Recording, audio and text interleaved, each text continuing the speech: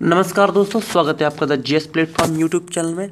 तो आज आपके लिए करंट अफेयर की नई वीडियो है, जिसमें मैं आपके लिए काफ़ी इंपॉर्टेंट क्वेश्चन कवर करूँगा। तो पहला क्वेश्चन यहाँ पे है, भारतीय नौसेना की पहली महिला पायलट का नाम क्या है? तो इसका आंसर है शुभांगी स्वरूप, ठीक है? जो कि उत्तर प्रदेश की हैं। ये भारतीय नौसेना की पहली महिला पायलट हैं, बहुत ही इंपॉर्टेंट क्वेश्चन है। यूपी की परीक्षाओं से रिलेटेड भी बहुत ही इंपॉर्टेंट क्वेश्चन ये बन चुका है। ठीक है तो इस चीज़ को आप लोग ध्यान रखेंगे।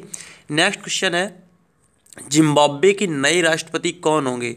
जैसा कि हम लोगों को पता है कि जिम्बाब्वे के पूर्व राष्ट्रपति रॉबर्ट मुगाबे सैंतीस साल तक शासन करने के बाद उन्होंने त्यागपत्र दे दिया है, वो हट गए हैं। ठीक है तो अब नए राष्ट्रपति कौन होंगे?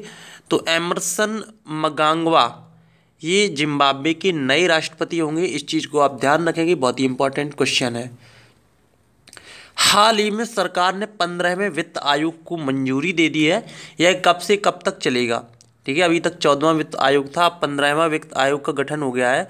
तो ये एक अप्रैल सन 2020 से 31 मार्च 2025 तक चलेगा, ठीक है? पंद्रहवा वित्त आयोग है, इसका गठन हो गया है और इसको मंजूरी भी मिल गई है केंद्र सरकार के द्वारा, ठीक है? नेक्स्ट क्वेश्चन हम देखते हैं।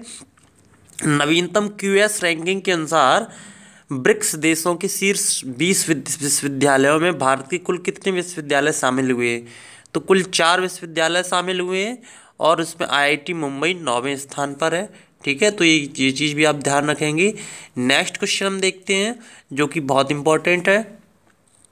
संसद का शीतकालीन सत्र कब तक, कब कब से कब तक चलेगा? तो इसका आंसर है पंद्रह दिसंबर से आरंभ हो जाएगा और पाँच जनवरी तक चलेगा।